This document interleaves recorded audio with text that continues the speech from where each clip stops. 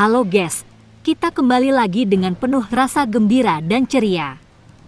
Kali ini aku ingin membahas atau ngasih informasi yang mungkin kalian belum tahu. Dan aku di sini mau ngasih tahu 10 game terbaik di tahun 2022.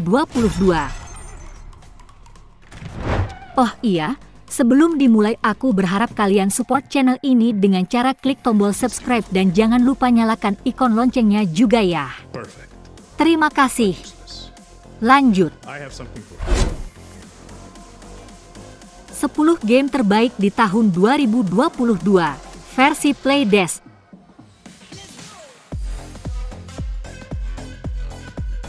No survivors.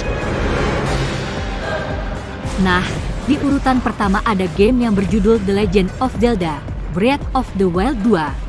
Game aksi petualangan tahun 2023 yang dikembangkan dan diterbitkan oleh Nintendo untuk Nintendo Switch mempertahankan gameplay aksi petualangan dunia terbuka dari game sebelumnya, Breath of the Wild 2017. Sebagai tautan, pemain menjelajahi Hirule dan dua area baru, Kepulauan Langit dan Kedalaman, untuk menemukan senjata, sumber daya, dan menyelesaikan misi.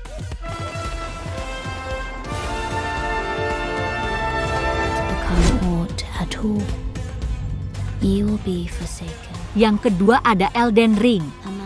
Elden Ring adalah game role-playing aksi tahun 2022 yang dikembangkan oleh From Software. Elden Ring adalah perspektif orang ketiga, aksi, permainan peran dengan fokus pada pertempuran dan eksplorasi. Ini mencakup elemen yang mirip dengan yang ada di game lain yang dikembangkan From Software seperti seri Dark Souls, Bloodborne, dan Sekiro, Shadows di Twice.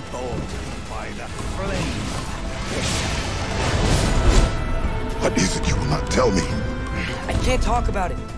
But I just Yang ketiga ada God of War Ragnarok, adalah game aksi petualangan yang dikembangkan oleh Santa Monica Studio dan diterbitkan oleh Sony Interactive Entertainment. Gameplaynya mirip dengan seri sebelumnya, God of War 2018, dan seperti game itu, hanya untuk pemain tunggal.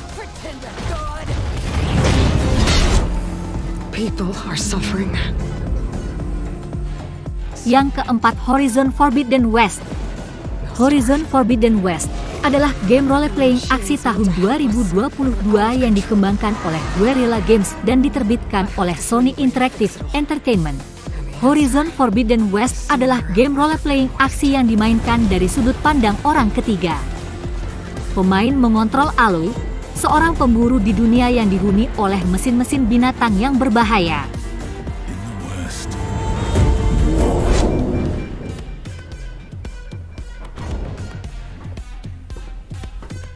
Yang kelima ada Starfield. Starfield adalah game role-playing yang dikembangkan oleh Bethesda Game Studios dan diterbitkan oleh Bethesda Softworks. Starfield baru pertama oleh Bethesda Game Studios selama lebih dari 25 tahun dan telah dijelaskan oleh sutradara Todd Howard sebagai Skyrim di luar angkasa. Yang keenam ada Final Fantasy XVI. feel itself. Final Fantasy XVI seri terbaru dalam franchise legendaris ini menjanjikan dunia fantasi yang memukau dengan cerita yang mendalam dan pertarungan yang epik. Final Fantasy XVI adalah permainan role-playing di mana pemain mengendalikan protagonis Clive Rothfield dan kelompok bergilir yang dikendalikan oleh AI melalui area terbuka tersegmentasi di seluruh benua sweep. Yang ketujuh ada Metroid Prime 4. Metroid Prime 4 adalah video game mendatang yang dikembangkan oleh Retro Studios dan diterbitkan oleh Nintendo untuk Nintendo Switch. Yang kedelapan ada Battlefield 2042. Battlefield 2042 adalah penembak orang pertama 2021 dikembangkan oleh DICE dan diterbitkan oleh Electronic Arts. Mirip dengan pendahulunya, Battlefield 2042 adalah penembak orang pertama yang berfokus pada banyak pemain. Yang kesembilan ada Resident Evil Village 8. Resident Evil Village 8 adalah game horor bertahan hidup 2021 yang dikembangkan dan diterbitkan oleh Capcom. Resident Evil Village menggunakan sudut pandang orang pertama. Itu diatur di desa Eropa Timur yang dapat dijelajahi bersalju di Rumania, digambarkan sebagai ditarik langsung dari era Victoria dan jauh lebih besar dan lebih imersif dari pendahulunya. Yang ke-10 ada Far Cry 6. Far Cry 6 adalah game penembak orang pertama tahun 2021 yang dikembangkan oleh Ubisoft Toronto dan diterbitkan oleh Ubisoft.